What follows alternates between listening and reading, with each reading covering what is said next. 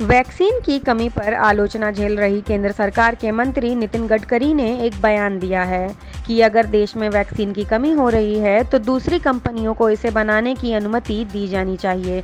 उन्होंने कहा, यदि टीके की आपूर्ति के मुकाबले उसकी मांग अधिक होगी तो इसे समस्या माना जाएगा।